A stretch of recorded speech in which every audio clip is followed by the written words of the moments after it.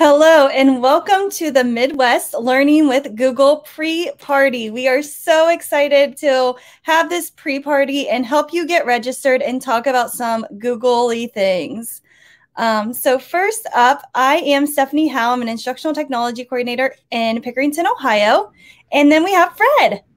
Hi, uh, I'm Frederick Ballou, usually go by Rick. Stephanie calls me Fred.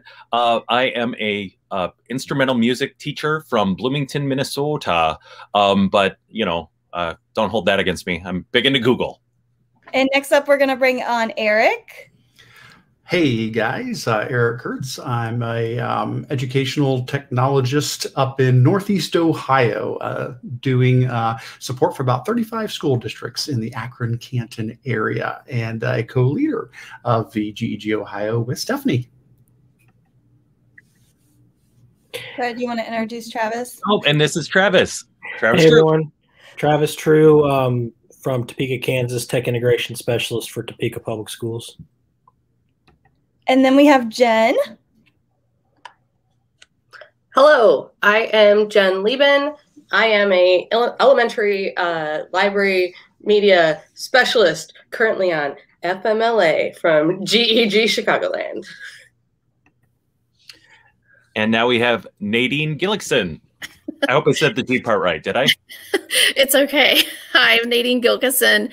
I'm oh. the District Technology Integration Specialist for Franklin Township Schools in Indianapolis, Indiana. And I'm also one of the Indiana GEG leads.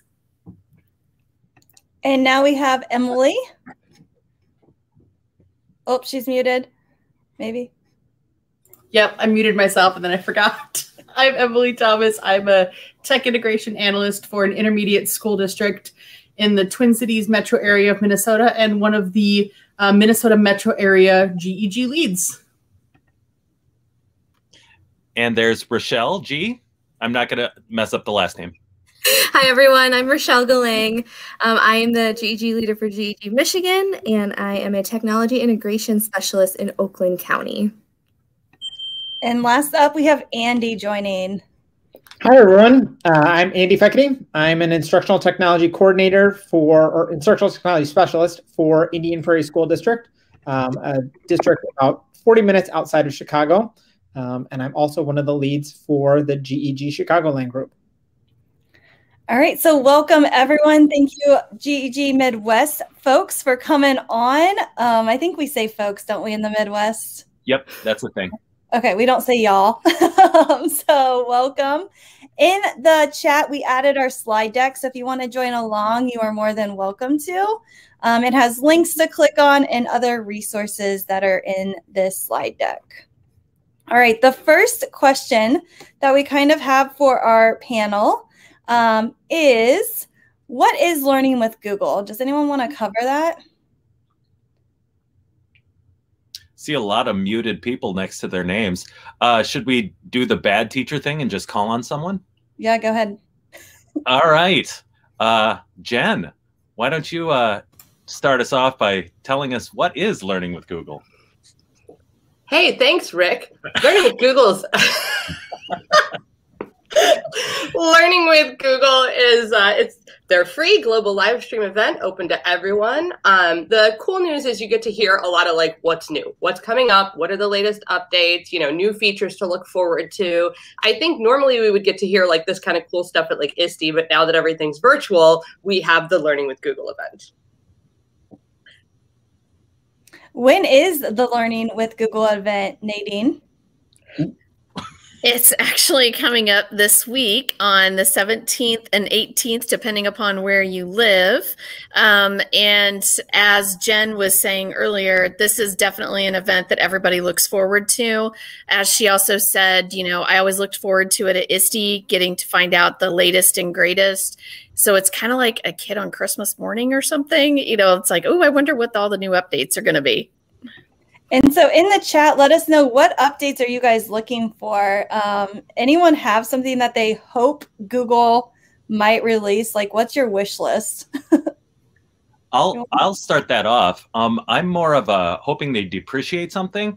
Uh, I would love to see Jamboard just go away. I'm I'm kidding. Um, I I would love being able to schedule multiple assignment like different times at the an assignment in Google Classroom being able to schedule things at different times. That would be cool to release at different times all from one spot. That'd be cool for me, but anyone else? I am always so excited about the new accessibility features and what's coming out. I don't have, I have since we haven't heard yet, but I always look forward to that. Like, is there an accessibility section in the in the uh, list of topics? And this year there is. So I'm really excited to see. I've always got an eye to that working in an intermediate district with lots of students in special education. Yeah, I really want to see some improvements to Google Classroom. Um, I'm ready to see what new and exciting things can help teachers make things faster to post. Um, how can students more faster collaborate, find tools, and those kind of things. So I'm really hoping there's some really good classroom updates. Yeah, multi-scheduling uh, classes is a must. that would be so great. Yeah. So we will see uh, on um, Wednesday what updates actually do happen. And so, real quick, if you've never even heard of this event, I'm going to put the link to sign up in the chat and we're going to walk you through how to do that. Uh, Travis, you want to walk people through how to sign up? Sure, it's super easy. So, when you go to the oh, page, website, yep, that one. right at there at the top on the right hand side, there's a big register button, or you can scroll down underneath the description and find that big register button. So you click on that um, and you just go ahead and you can sign in with your Google account and get registered for the event.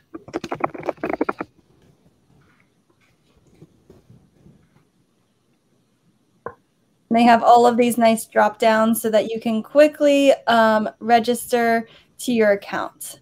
Yep. And and then once you're registered, you will then be able to see the schedule and sessions for your area.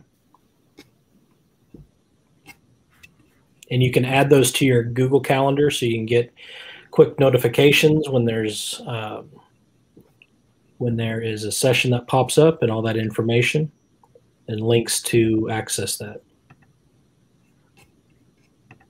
Thanks, Travis. So now what should we kind of expect? I know we talked about like updates. Anyone else want to kind of share what we might expect on this day? We can kind of look over the agenda for the day.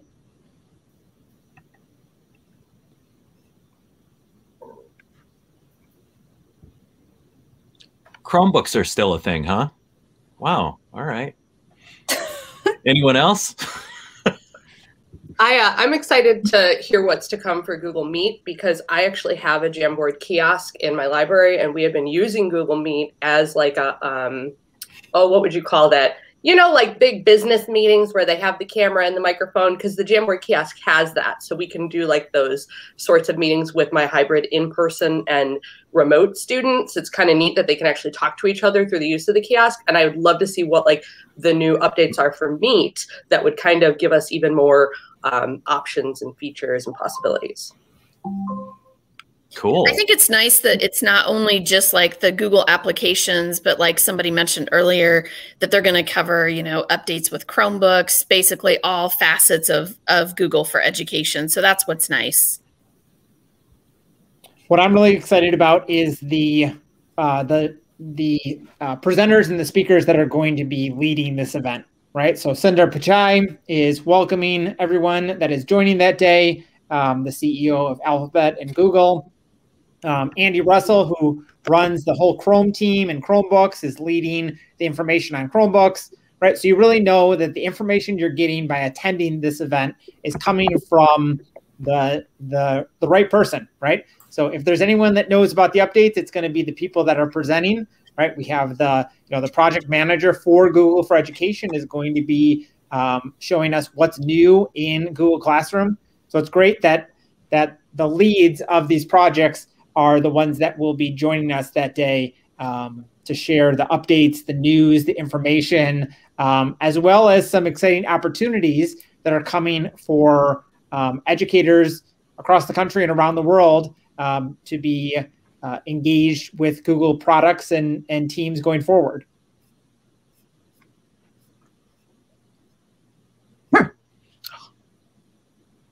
And so everything for the event is all on this website. If you just click down on this drop arrow, you can see the whole event. So maybe you might have to mince certain parts of it. It will be recorded.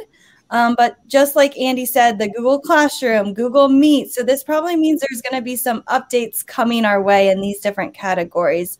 Um, there's the accessibility that Emily was kind of excited about. So just looking over the agenda so you know what to expect um, will help you be prepared.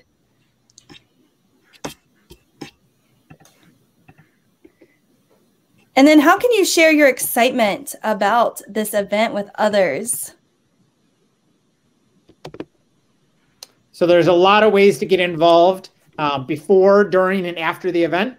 Um, so check out the Twitter at Google for EDU or the Facebook page, Google for Education. There's lots of um, official event hashtags that you can follow. Um, hashtag learning with Google will be very um, popular that day and before and after the event. Also Google EDU and other ones that you can see there.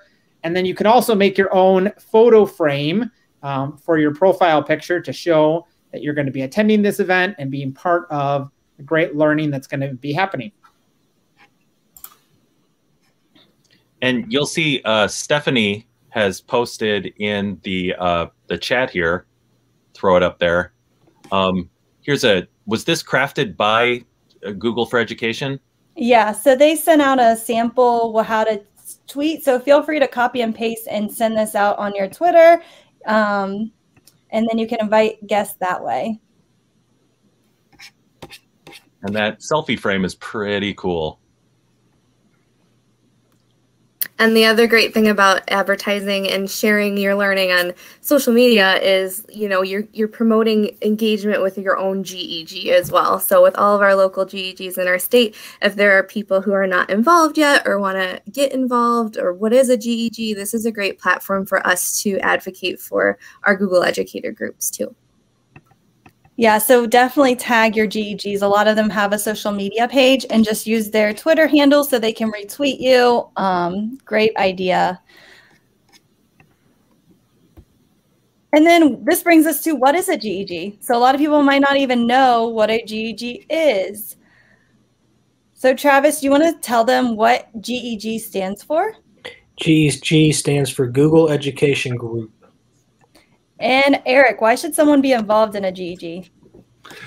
Well, GEGs are a fantastic way to be plugged in to other educators in your area that are using Google tools. Now, it's going to be different uh, from state to state, country to country, because GEGs, they're grassroots. They're run by uh, educators for educators. So no two GEGs are going to be alike, but in general, it's going to be a great way to connect with others that love Google tools and are using them.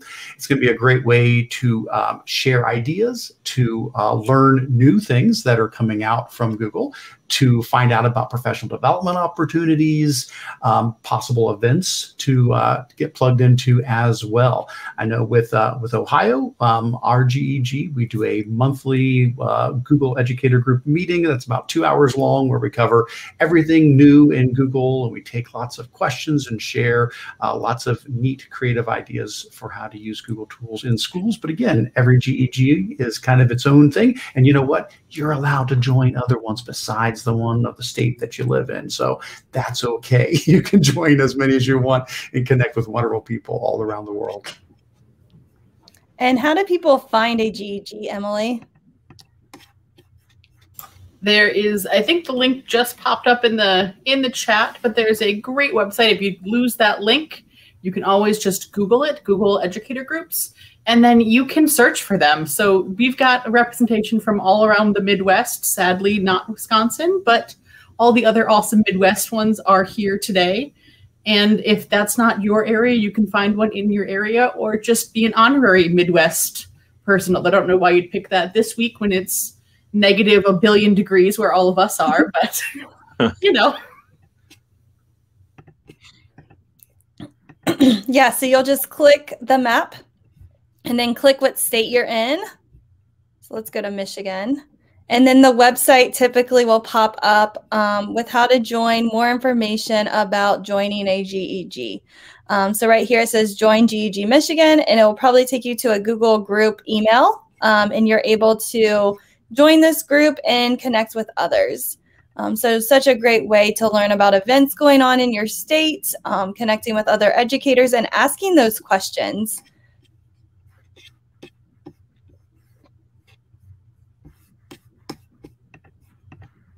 Oh, and the next one, um, helpful information. So what advice do you guys want to give for an event like this? What should people do during a session like this?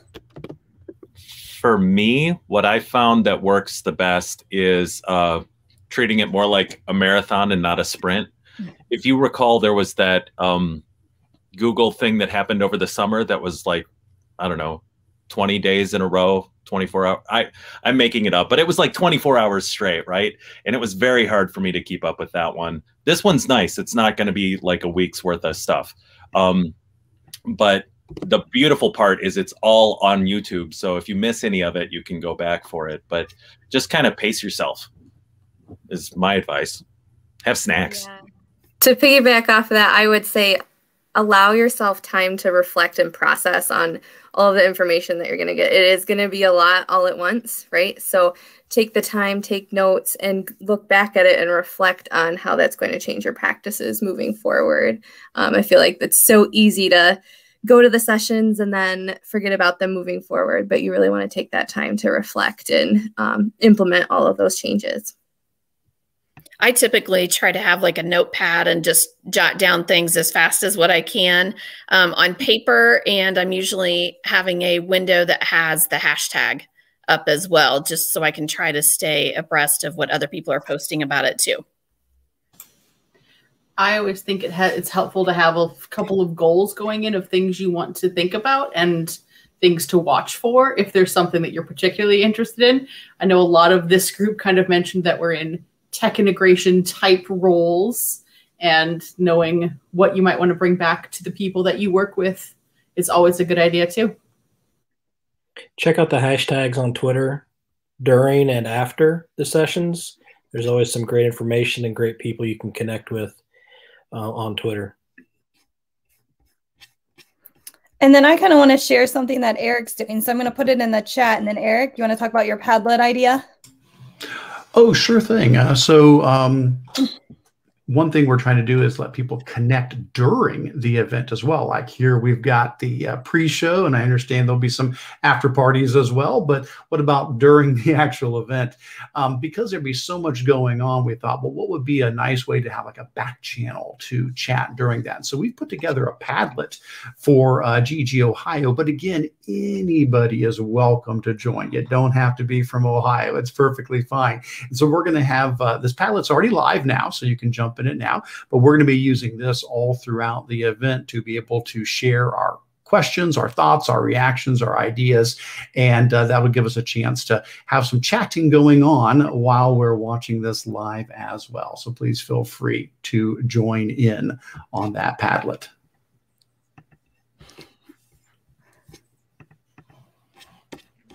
Um, also, make sure you sign in on that Padlet so we can connect with each other or add like your Twitter handle or your email or something. That way we can connect after the event because you do have to sign in. Um, so, like, you can see John, his name's up there already. Um, but he had to sign in because if not, it's going to show up as anonymous. So, that's one tip. Any other tips or should we go on? I would say as you're connecting with people through Padlet or social media or whatever channel it is, um, you know, connect with other educators in your area that do similar things like you so that you have someone to bounce ideas off of after the event is over, right? You always want to continue that learning. And then we tried to ask May from Google to come on today, but she was unable to. So she just left us this nice little slide um, just saying thank you for everything that educators do for our students. Um, she's really appreciative of everything that we do.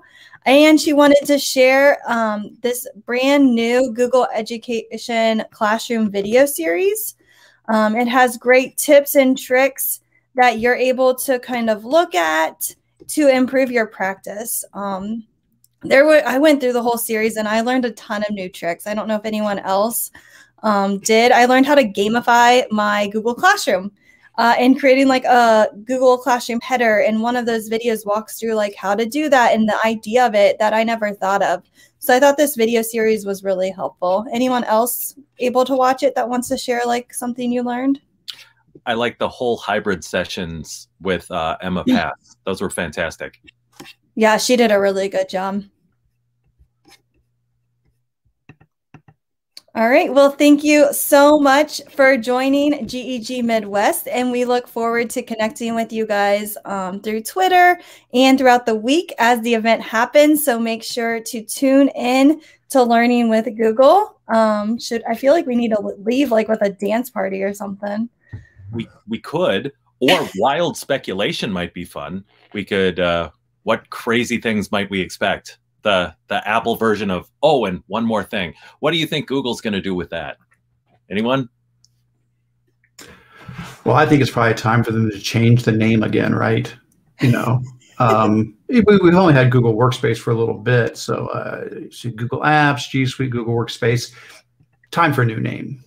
How about the icons change? Yeah, new icons. Oh yeah, all let's make them all the exact same color and shape. I'm almost figuring out how to click on them now, so that that that would help. How about how about a reboot of the Google Glass, maybe with some um, blue light protection for our virtual meetings? Can we get some of that? Or Chromebooks with like a ring light built in. That'd be cool. I'm so for that. You know, Rick. More make makeup filters for meet like built in face makeup. Yes, yes. Mm-hmm. All right. Well, thank you so much for joining.